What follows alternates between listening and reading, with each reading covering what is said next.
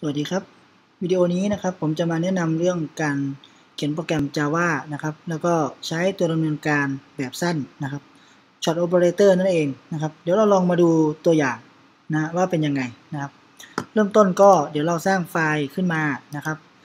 คลิกขวาที่ตรง Package Default เนี่ย แล้วก็ New Java Class ขึ้นมานะครับ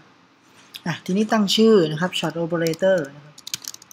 Short Operator จะพิมพ์ไม่ถูกนะอะช็อตผมไม่แน่ใจพิมพ์ช็อตครับเอา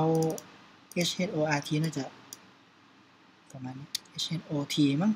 r t แล้วกันอะถ้าผิดถูกยังไงก็อย่าถือสานะครับ ไม่ได้ไม่ได้ค่อยได้พิมพ์เท่าไหร่อะผมตามนี้ก่อนแล้วกัน แล้วก็ finish ไป ผมห่างหายไปพอสมควรนะกับเรื่องพวกนี้นะครับ อะทีนี้นะครับเริ่มต้นเลยเราจะต้องมี main class เออ main method ก่อน psvm แล้วก็กด tab ได้นะครับ เพื่อเจนคำสั่ง หรือใครจะพิมพ์เลยก็ได้นะครับ เพื่อที่เราจะได้จำได้นะอะทีนี้นะครับ เริ่มต้นเรามากำหนดตัวแปรก่อนนะผมมี x เป็น 10 ผมปริ้นค่า x มาดูเลย ทีนี้นะครับผมจะทำการเปลี่ยนแปลงค่า x โดยให้ x บวกเท่ากับ x บวก บวกเท่ากับอ่าก็คือเพิ่มค่าไปอีกหนึ่งมาดูค่า x นะมันจะมีบวกเท่ากับ แล้วก็ลบเท่ากับนะเดี๋ยวเรามาดูนะรันก่อนนะครับ ก็จะเป็น 11 เห็นไหมทีนี้นะครับ เดี๋ยวเเพื่อความเข้าใจ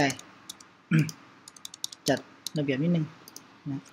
อันนี้ลืมเซมิโคลอนมันจะเออร์เลอร์นะต้องเติม มันมีบวกเท่ากับมีคูณเท่ากับจะหนึ่งจะสองจะสามก็ได้ไม่ว่ากันนะครับบวกลบคูณหารนั่นแหละนะฮะบวกลบคูณหารนะก็เป็นเนี่ยสิบเอ็ดเป็นยี่สิบสองเห็นนะครับ ค่าก็จะแปรผันไปเรื่อยๆ มี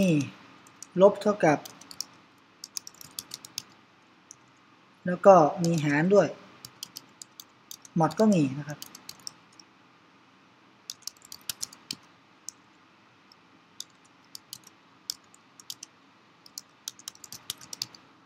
อะโอเคนะง่าย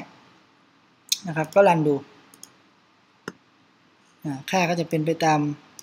ค่ามันนะครับ ค่าตัวแปร x อันนี้คือวิธีใช้ short operator นะครับ ก็คือ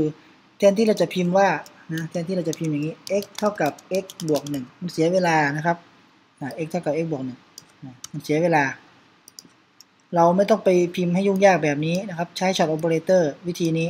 จะสั้นลงนะครับ การเขียนคำสั่งก็จะ ง่ายขึ้นอะจบไปนะครับกับเรื่อง Shot operator เดี๋ยววิดีโอหน้าผมจะมาแนะนำ Shot operator อีกแบบหนึ่งนะครับ ซึ่งใช้บ่อยนะแล้วก็นิยมมาก ๆ ในการเขียนโปรแกรมนะครับสำหรับวิดีโอนี้นะครับก็ขอจบไว้เท่านี้ก่อนครับผมสวัสดีครับ